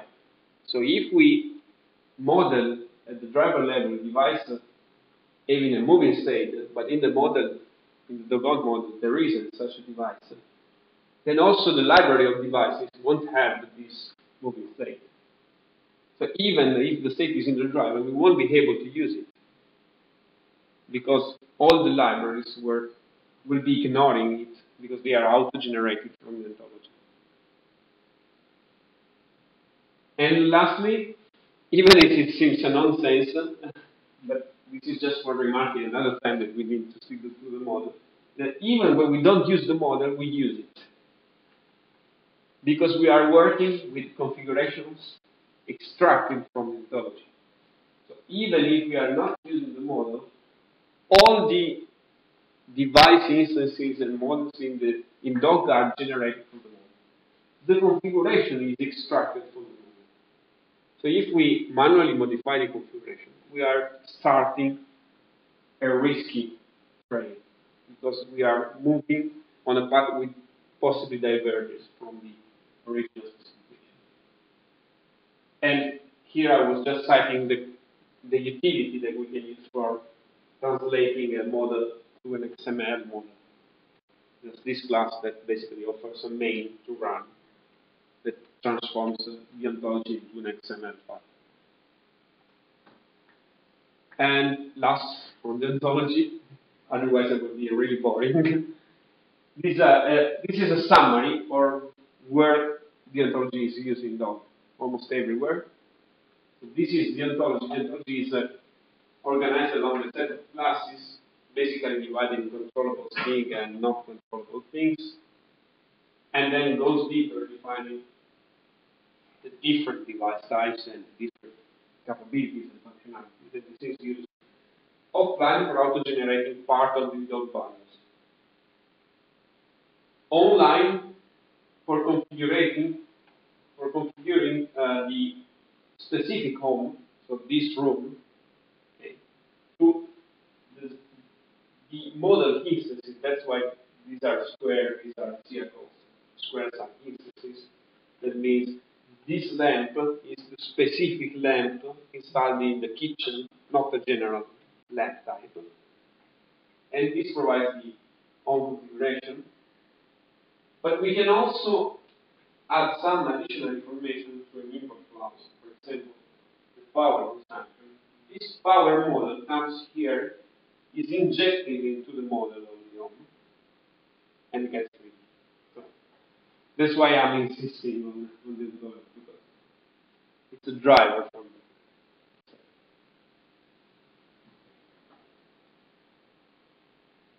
Second, auto generation. It basically comes from this uh, permeation of the ontology inside all the aspects. Since we have this model, which is difficult to handle, which is computationally uh, greedy in a sense, because we need to use greedy processes uh, for handling it. If uh, we have an embedded PC, we are not able to deal with the ontology. Uh, these are the drivers for generating everything by programs. Because we can save time, save errors. We usually get a uniform structure. And we limit the points of failure to just two positions instead of many others. So, for example, in Dog, we generate over 400 classes from the ontology, all the one dealing with the uh, device libraries. And if we develop manually all of these 400 classes, we will have 400 different possible point of failures. But if we auto-generate this, we have only two point of failures. One is in the generation process, and the other is in the template we use. So if we make an error in defining the template, then we will have an error, but we just need to modify the template to correct it. Instead of trying to modify in the same way for 100 different classes, which I'm sure is not possible. Okay. Other advantages, uh, we avoid also annoying the developer. Because when you start developing a class which differs from the former class just by one string, at the third class you get really, really bored. And that makes errors. Because after that you start making errors, thinking on other things. So why do we need to generate manually one when we can generate it by phone? It is quicker because for generating all those classes we take less than one minute if we give it to a, a developer, it will get bored first, and it will get take at least one week for doing the same work with the errors. So another week for correcting the errors. And the other advantage is that if we program correctly the generator, and this is a big if, but we can, uh, modest changes inside the ontology can be faced without modification in the generator. So if we had classes typically, or if we had just modify existing classes or delete some classes, anything else is the same. The program is the same and everything works if we develop the generator correctly. Of course, if there are major modifications, then the generator must be modified. So if we change the relationships, for example, or the properties, we need to modify the generator to account those properties. But if we just have one device type, no problem. The if the generator is programmed correctly, everything works. And this means that if I have a new network with new devices, my only concern is to develop the model. Because after that, I just hit run, and all the dog parts are generated. Uh, okay, so, let me see what some of you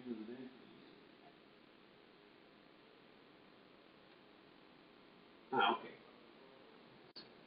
Um, so, where can we find out the generation in, in the DogOnt source?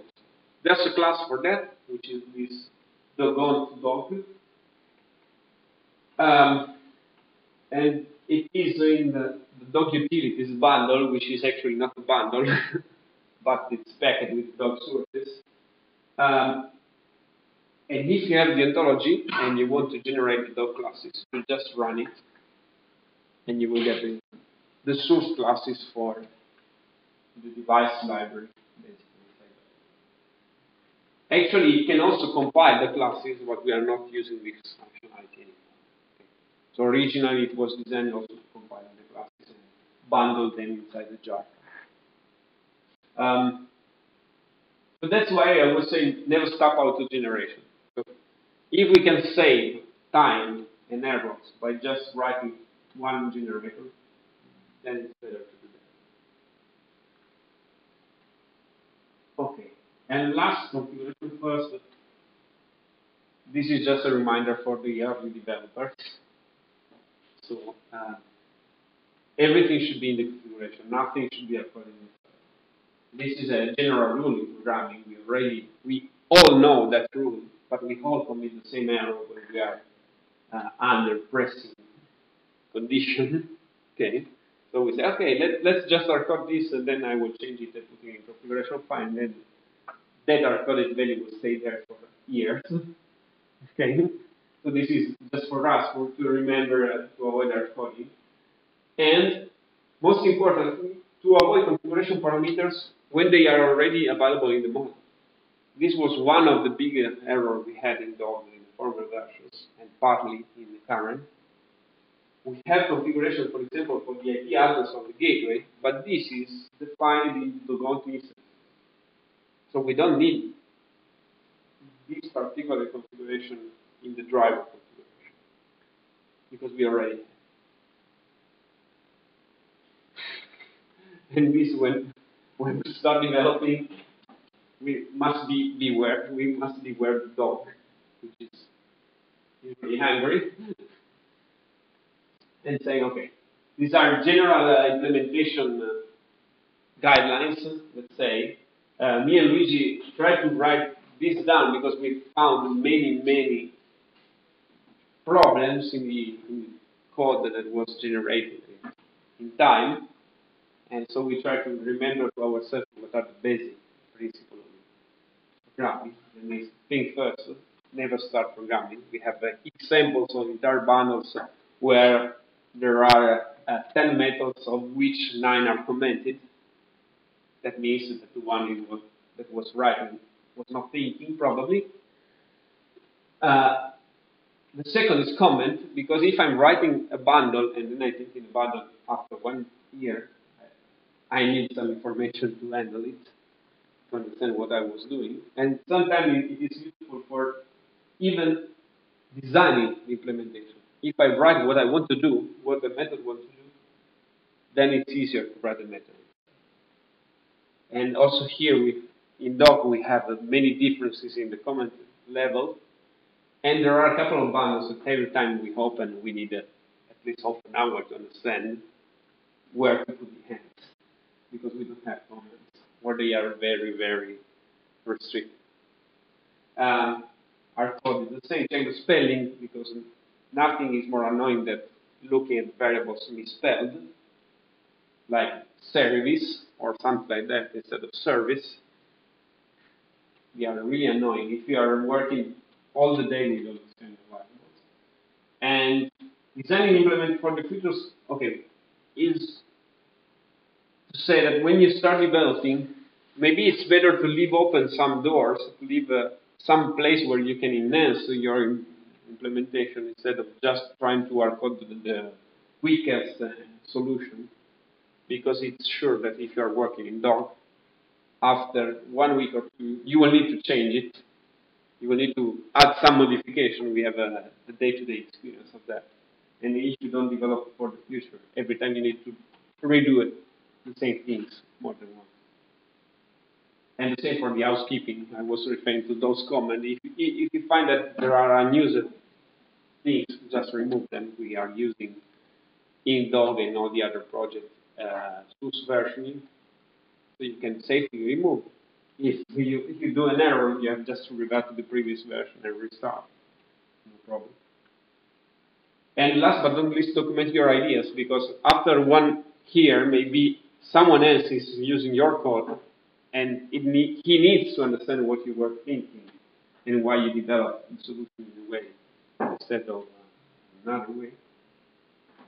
Okay, so by Looking at the dog, this is beware dog, dog is happy, because this is a good class. Okay, this, this was just for providing some examples that are inside of. Okay, so this is not invented for the purpose of the presentation, it's inside. Here the dog is happy because there is a, a big job of comment at the beginning explaining what the class is expected to do.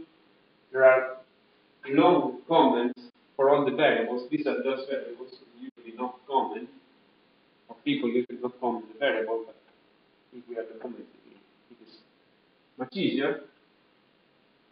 On the converse, there might be situations in which the dog is a little bit angry and barking. For example, here, no comment. Let's imagine three pages, three screens written like this. It's pretty difficult to peer inside. Then you start looking at the code, then we find some spelling error. So you are trying to amend the code, you write service speed, and nothing works because someone is programming using service speed instead of service. Okay. No comments already said. And these are other errors. For example, the log level. This is a debug string logged as a warning. That means that we, when we run Dog, we will have a couple of lines in the log console which are useless because they are just debug information, but they are not as a nearly error. This this was just to say, okay, inside Dog we it seems that we are a little bit picky on, uh, on these stupid things, but inside of we have this variety of code from the, from the good code to not so good. Okay, so that's why we were trying also to provide a guideline on this. Okay, so the guideline that we need to follow is to say check the ontology, and we already know now we have full of the ontology requirements. Uh, second, respect the OSGi specification. So if I'm trying to do something which I suspect to be in the specification, then it's better to read the specification, maybe ask someone else that knows better about the specification. And if a specification is there, then that's the only correct choice. So there are no other ways if we want to be maintainable and portable to the next generation uh, after that, as a third instance, respect the architecture. So don't start putting pieces around. We have the layers well defined. We can develop inside. We do not have to duplicate functions in Dog. So if we have to use something which is already there, maybe we can amend the existing bundle to expose these services instead of rewriting the services from scratch another time.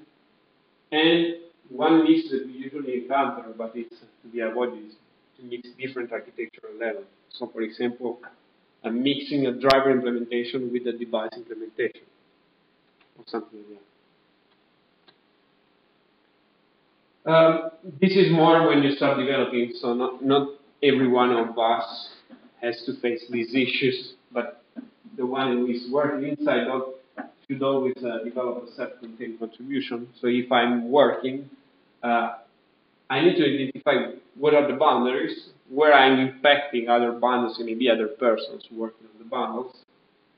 And on those interfaces, on those boundaries, I need to negotiate uh, the interactions with the other developers because otherwise we get isolated parts and have isolated parts usually um, same working team. This is more for uh, us than and for people starting uh, to work inside the code. Okay, so this is a kind of a self uh, complaint. Uh,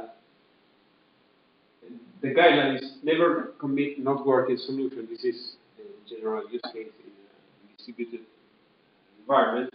So if you are working on something, unless the this something compiles, it's okay, it works, do not commit. Because if you are committing, maybe you are impacting the work of others, working on other part of the frame of the, Dog, so avoid it. And especially check that your solution does not impact the others' work. Otherwise, negotiate the interactions. Um, and second, it should not be there, but we, we see many of these errors. So always do complete commits. That means if you are committing source, please commit also the libraries and so on.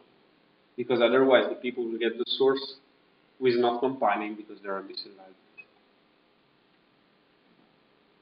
And working in team, another good way of working, especially if you are using SVN and not, and not Git, is to always update before committing, because otherwise we will surely generate conflicts.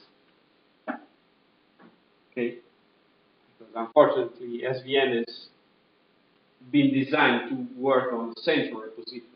So, if you work on a misaligned or older version, and then you try to commit, you get a couple of merge errors due to the fact that you forget to update before starting to work. These are really specific comments, but we have this problem. That's why we decided to put them here. Uh, and the same from the dead or ground code policy. That means if you have that code, remove it. We have the SVN server working for us. So if it wasn't, then we can always revert back. Uh, if uh, the code is not working or it's incomplete, we are starting from this January to apply a policy that says if you don't change on uh, the incomplete component or if you don't uh, correct the component, we will delete it after one month. Okay. So, for example, just for citing one, uh, we just checked it on Friday, and after three months and one mail, the doggy pet is still not working, not compiling. So the, the decision here would be removing it. Okay. Someone is uh, acknowledging. okay. So the idea is that pay attention to these things because we need to work together. And last thing added by Luigi, which is really important, remember that every bundle is a different SVN project, and then it deserves a different trunk, branches, and tags. All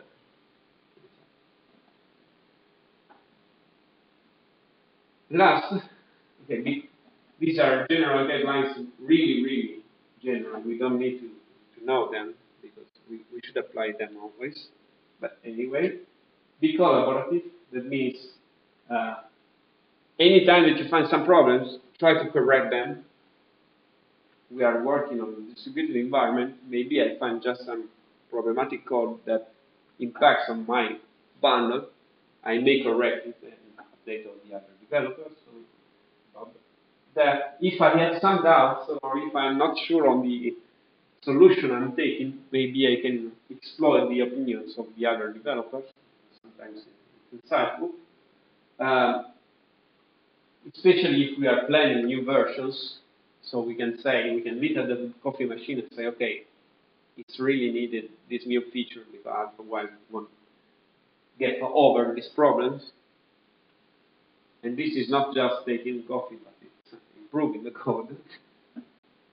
uh, and the same this one. Always develop for the future. And that's. If you have any comments, questions, problems,